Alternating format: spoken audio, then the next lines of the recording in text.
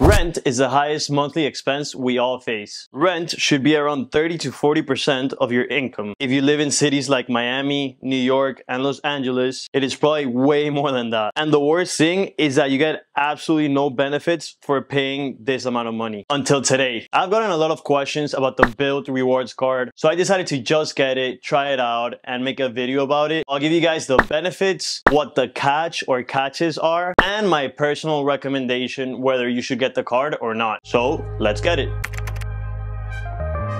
The first one and most basic one I'll say is that it has no annual fee, which is huge. These cards have little downside if you're responsible with your finances because they're completely free and they still have benefits. But the big one, which is probably why you clicked on this video, is that this card actually gives you points when you pay your rent with it and they don't charge you the classic 3% transaction fee that you get charged if you pay your rent with a credit card. Bilt actually gives you two options to pay your rent. You can either do what I do and pay through your online portal. All you have to do is input your routing number number and your account number. Just like if it was a checkings account, just in this case, you're getting points and it's charged to your credit card. Or if you have a more old school landlord, you can also send a check, which is pretty cool. It'll get delivered between five to seven business days and it'll still get charged to your card. So once you've done this, you're gonna receive one point for every $1 spent, which is pretty good given that you're not receiving anything today. The only catch here is that you can only redeem 50,000 points per year when it comes to rent. Now, your rent has to be a little over $4,000 for you to reach this limit. So you're not really missing out unless you're paying more than $4,000 in rent, which in that case, rip you.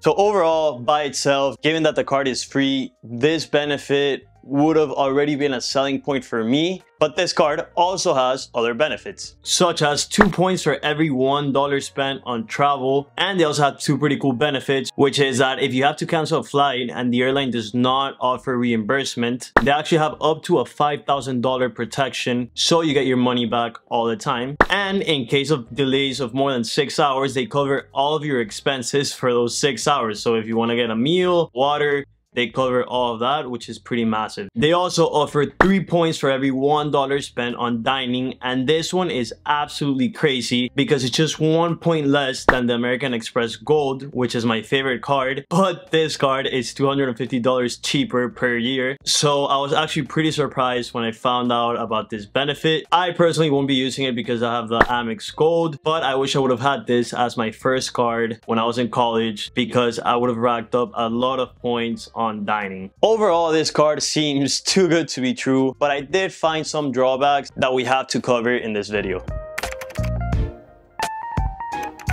So I think there are three main cons to this card. The first one we already covered, and that's that there's a limit to how many points you can earn through rent, which is 50,000 points. This is still a large amount, but it would be nice if the card would let you earn unlimited amounts of points. Second, this card unfortunately does not have an introductory offer. As many of you guys know, Amex, Chase, and all these famous brands have introductory offers where they offer an insane amount of points if you spend a certain amount of money in the the first few months of having the card. Hmm. Bilt has decided not to do this and so you don't have any incentive to really charge money to the card early on. So that's something that they can definitely improve in the future to get more customers. And lastly, this is the catch, which is not really a catch. It's just a little annoying. And that's the fact that in order to get the rent points, you have to make five transactions per month with the card. So you can't do what I wanted to do, which is to just get the card to pay for rent. So what I'm doing to battle that is that I got five of my subscriptions and I put them in this card. So every month I have those five transactions happening automatically without me having to think about it. And I qualify for the points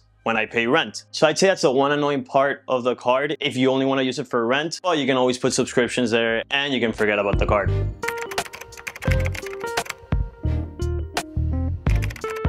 So now for my personal, non-professional recommendation and my reasoning as to why I got it. If I'm gonna pay rent, I might as well get rewarded for it. That's one. Second, it's completely free. So there's really no drawback as long as you pay it every month which I know I will. And third, I can automate everything. Automating my finances is very important to me. So it was important that I could just have it pay my rent and forget about it. Also, it's good to start building credit. And if you don't want to pay $250 per year for the Amex Gold, or maybe you don't qualify for the Amex Gold just yet, it's definitely a good way to start. So taking all this into account, I think it was definitely worth it for me and I think it would be worth it for a lot of people. And if you agree with that and want to get the card and want to support your boy Barn, I'm going to leave the referral code down below so you can get the card and hopefully you like it and you get a lot of benefits from it. If you like this video, subscribe, drop a like and leave a comment if you have any other cards that you want me to review.